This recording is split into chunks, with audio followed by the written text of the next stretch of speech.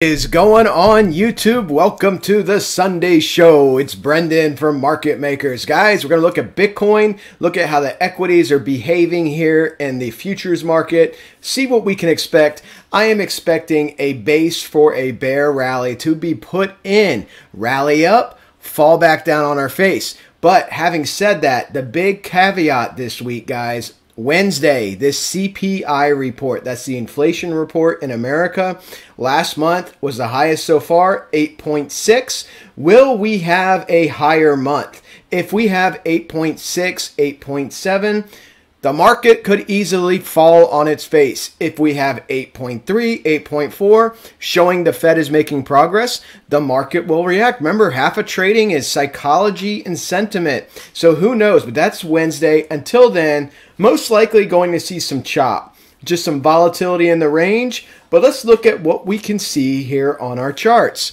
Let's go back to Bitcoin on the weekly, guys. Bitcoin on the weekly. So here's our Gann wave pattern, right? My price pulse pattern. As you can see, we did wick up to the 200, what is that, the 200? I think that's the 200. It could be a 233. That's the 200. So we did wick up to the 200 and got rejected. What is that like, guys? Just like the Russell. Identical movement to the Russell. So as you can see here, we do have this B wave projection based on fib time, July 25th. So let's see what happens here. You know, the Fed is off in August. So it'll be really interesting to see if they come in with a hot rate hike like 0.75 again, how the market will react. Bitcoin's going to track the tech. Bitcoin's going to track to the Russell it's going to track to the tech and the NASDAQ. So we'll see what ends up happening in the marketplaces. But they all are looking to base. But Bitcoin and the Russell are both below the 200 at 233. Still like this layout here. If this has to come down to a lower target, we will pull this down. But we're still looking for that big bear rally up. Getting rejected at the 200 is not a good way to start. Looking at this weekly chart, we can see our downward projections here for support 618 at 18,230. Remember, that's the key one to hold, right? Then we're going to start hitting levels beneath that with the one fib at 9,482. Ooh, people will get really, really, uh, people will lose their. Uh, S-H-I-T if that happens, right? I have to be careful what I say. I can't talk about certain things in YouTube, as you guys know. They bury me in the algorithm. So we'll see what happens with that. But let's go ahead and look at the daily. So on the daily, what are we doing on the daily? On the daily, we exited our Wyckoff range, fell back in, and we're trying to hold our base. You see this? You can see this in the smaller time frames with more candles, but this is what we're doing on the daily. Now, money flow says we are overbought here, okay? So we're overbought. We need to hold this higher low up here. This would be our base range for our pivot. That's the 50 moving down, okay? The 50 moving average coming down at 24,681, 144 and the 200, 233. This is my market ceiling for Bitcoin Bitcoin. I don't make those videos that say 80K incoming and things like that, guys, because you have so much resistance above you. You have two thirds less market cap. That means two thirds of the money has left this space. So I'm being realistic. This is the 45 angle going back to the pandemic low. And here you can see this would roughly be about 36, somewhere in there. 36.2 between the 200 233. That's an area with the 45 is going to be heavy resistance if Bitcoin was ever able to muster some type of rally up to that level. Now, let's look at a couple wave projections here, and then we'll check out the volume, see what we're doing here on the volume, okay? Pulling down this wave projection. Um, I'm going to get a bigger wave projection so we can get some higher numbers here. Let's go shrink this down. Let's go to this previous swing low up here. You see this? Let's get a larger wave projection. Swing low, swing high, Swing low. I like this one. This lays out really nice. This 618, you can see it rejected us a couple of times here in range. So you have the one fib lining up perfectly with the 50 on the uh, moving average on the daily time frame, okay? And then you have the 144, 233, 200. 200 and 233 are at the 2618, 36K. So I really like how this fib lays out. Gives you some clear uh, identifiable resistances here combined with moving averages. All right, so that's just something that you need to watch. If we do get some type of pump up, we're going to watch that 24K area. But on the smaller time frames, we're going to see exactly what that looks like with other wave projections. Are there any indicators here we want to look at? Let's go ahead and look at our Donchian here. Donchian, we're still near the bottom of our range. You can see we could come up here in the Donchian range at 31,807. Uh, you know, again, uh, that's going to require some momentum to move up like that. Um, our Nubia, I guarantee you the heavy supply line is up with the 200, 233. It is. Okay, just lots of resistance from being such a bearish downtrend for such an extended period of time. And let's check out our Ichi while we are here as well. Ichi, we still got room between the cloud, but that cloud is closing in, but the cloud is tucking in a little bit as you just continue to range, okay? So you're just continuing to range. Now let's go ahead and talk about the volume, guys. So looking at the volume here, uh, these are average volume bars and then below average volume bars, okay? So we have a little bit of average volume. The bulk volume here since mid-June has been below average, below the moving average, below average. So, you know, again, you, are forming a double top structure right here, but you're also forming your cup, trying to form your cup pattern on top of the Wyckoff trading range. So just another thing to pay attention to. Looking at the eight hour time frame, let's go and pull this up. Let's get some different wave projections here, guys. Eight hour time frame, we'll go ahead and pull this, a little bit more current wave feature here. Do something like this, swing low, swing high, swing low. And then look at that. You got to the 1618 at 22,439. And just like on the daily time frame, you can see you're trying to hold your base, right? Your cup pattern. Give us our pivot, which is that rollover, price moves in waves, and then get that breakout to, back to the upside, okay? That's what we're looking to do here, but you have to hold this. If you fall back in your trading range, then that negates the breakout. But, you know, you are making patterns, I bet you here. So if we look at this, let's go ahead and tuck this in do something like this. Just go to that swing low and probably right back about here at the 1618 would make sense. So something like that. This is a dragon pattern. Dragon patterns are double tops and double bottoms. And, you know, like I spoke about many times before, Gann talked about this, the natural halving and doubling in the marketplace. Here you can see almost a 0.5 retracement from this move. And from the B to D, this would be a, almost a 100% retracement, a halving and a doubling in the marketplace, okay? So this is something that you could see Bitcoin do because this is the 1618 at 22,439.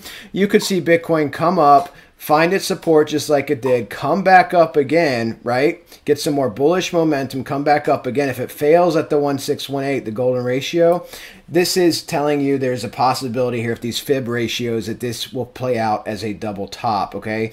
And then of course, if you break that neckline, we'll go ahead and get a measured move. You guys know I don't like measured moves, but I'll go ahead and take a measured move. I prefer fib waves. But we don't have candles yet on that side, so we're just going to imagine it comes up to where the point B is.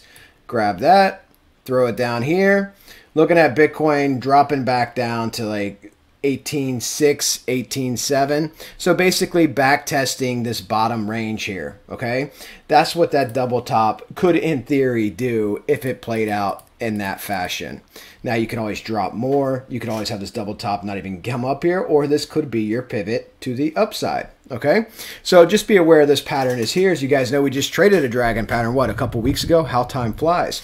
Looking at the money flow, guys, we are oversold here. You see this? We're oversold. So it looks like you may be able to hold this base. If you can hold this base, I do expect that move up. Watch this trade, guys. Boys and girls at home, watch this trade. 1618, 22, 439. That is where you got to before and a strong rejection, okay?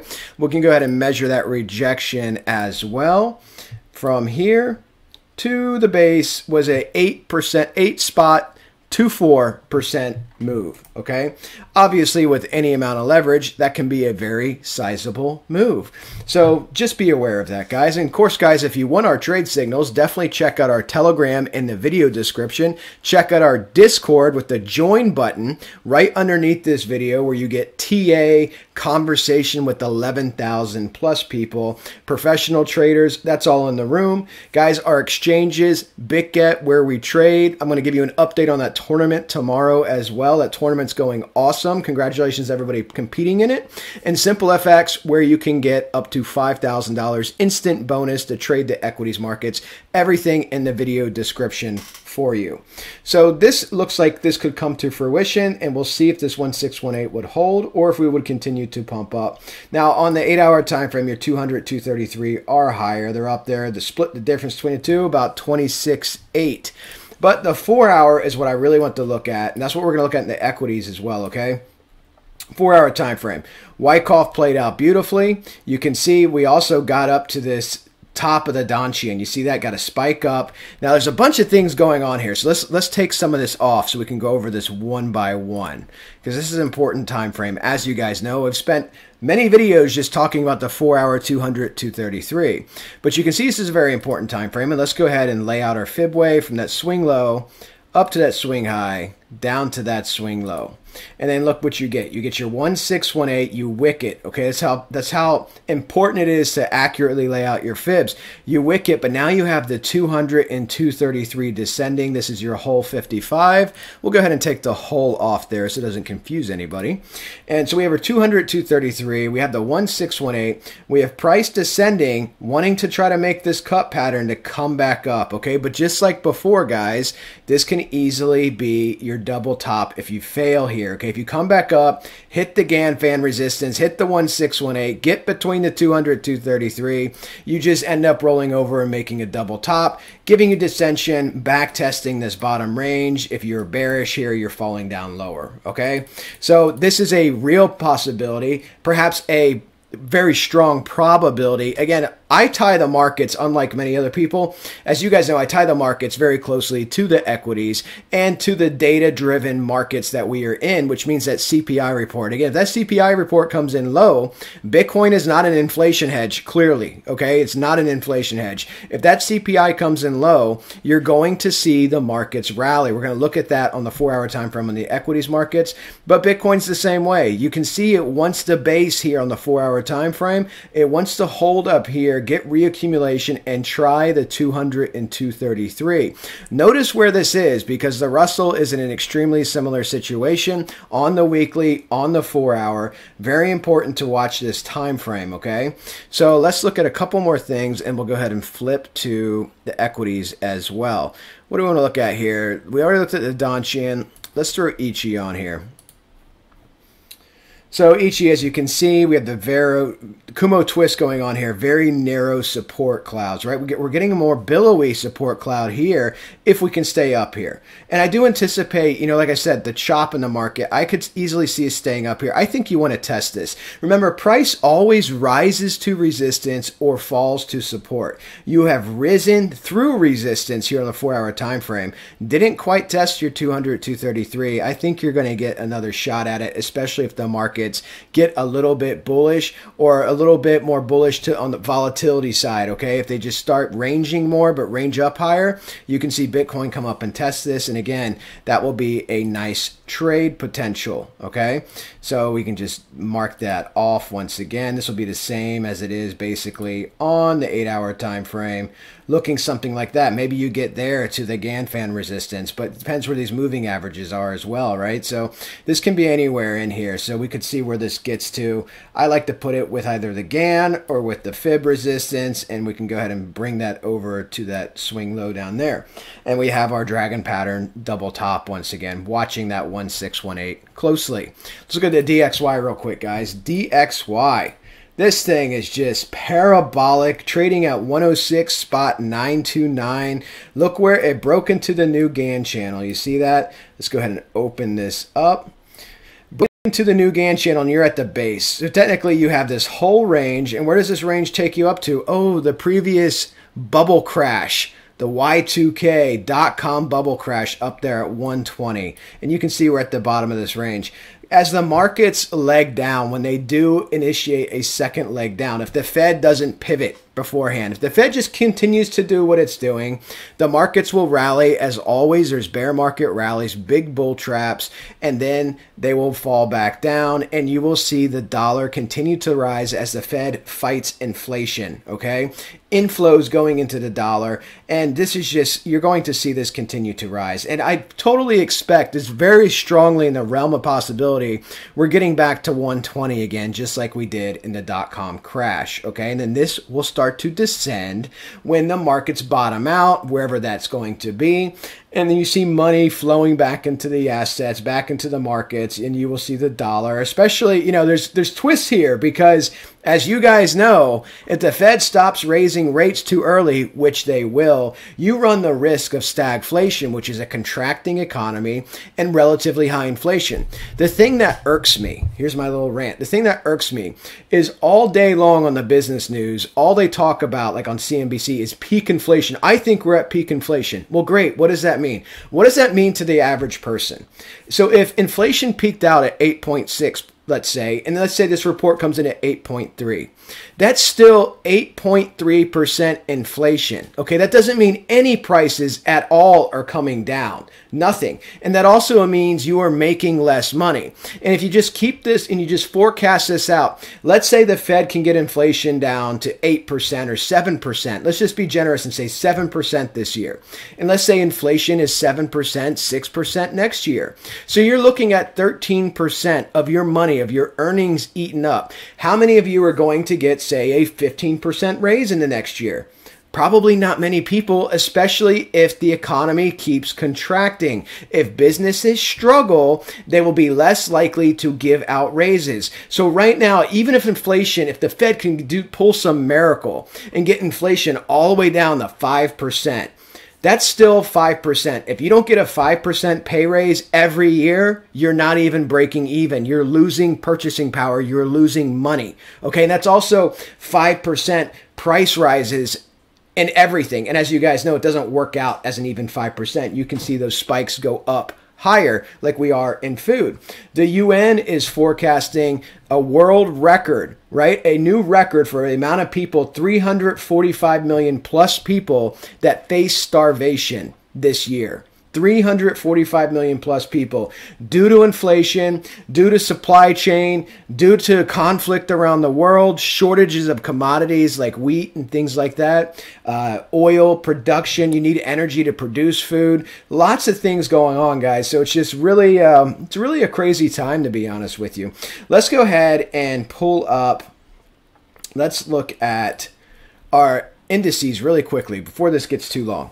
So on the weekly time frame, guys, we'll do weekly and we'll do four hour here on the indices. So the weekly time frame, you can see we're opening this new candle on the S&P, the broader market, and this is up here above our support line, and you have your 200 and 233 down below you. So I mean, this looks like there. I mean, right now it's just holding its range that it's been in, okay? But we're looking to try to get some type of bear market rally. That's what the market really wants to do. So we'll see if the market can pull it off, but CPI, guys. Here we are on the four hour time frame. Just like Bitcoin, just like many things, below the 200 and 233. Okay, above our Hull 55, below the 200, 233. Very keen to watch this. We're down a little bit here in the uh, futures market, not much. Uh, 15 points. Okay.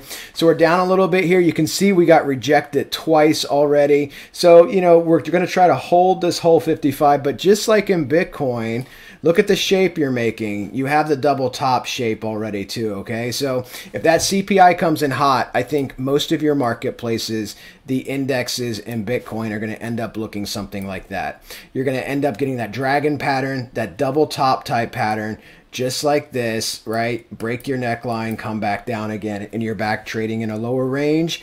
Or if the bearishness continues, you descend, okay? So let's look at the NASDAQ. NASDAQ on the weekly, same exact situation, opening up higher. 200, 233 are below you. Let's go to NASDAQ on the four hour. NASDAQ led the way here on the four hour. Look at the progress the NASDAQ made on the four hour. NASDAQ got above the 618. You see that? It's coming back down. The back test, it got above the 200, 233. It struggled here. You see that? It struggled. It got above it, fell back between it, pumped back above it. And again, all of this will depend exactly on what happens with that CPI. If that number comes in hot, I expect this to roll over. Okay, but you know, markets are erratic. Gotta watch them. Uh, money flow, we are still above on the bullish side, but below the cloud. Interesting. We'll see how this plays out here. This is almost like the mirror image of this double top. You have the first peak higher, comes back down, second peak lower. You see that? Here you have the first peak lower, second peak higher. So again, we'll see if this holds up or if you end up breaking this and essentially the 200 or 233 is almost your neckline, or really the 0.5 fib, okay? So if you do break that and do come down, that's just going to be another bearish market indicator. But if you can hold this and try to make some progress up on the NASDAQ, you can look up towards 12,513, which would be a 400 point move roughly. 450 points, that would be a nice move up. Again, that's a good, strong trading day plus one. Okay, so that could be a nice move up for a rally. Let's look at the Russell. Russell, just like Bitcoin, below the 200, 233, wicked into it, got rejected, but we're holding a higher candle at the moment, just like Bitcoin. Okay, so let's look at the Russell on the four hour. So, four hour here, we have the Russell and just like all the other indexes, just like Bitcoin, you're getting that pattern, okay? You have this broken double top here. You want to try to hold this. You have the 200, 233. You see the market symmetry? All of these indexes in the four hour time frame are either about to fight their 200, 233 or the NASDAQ, the only one, is just above the 200, 233. But I do expect chop, just like we had here all week, okay? I expect chop watching this chop back and forth and see if we just hold this range until that CPI comes back out. And we'll be watching for rejections, watching for flippings. Okay, you got to flip the 200, 233, get above it, and everything, every asset class, including Bitcoin. That's what you got to watch. Okay, so we'll be paying attention to that as well. All right, guys, hope you enjoyed this video. Hope you guys had a fantastic weekend, my friends, and uh, another video coming tomorrow. Talk to you guys soon.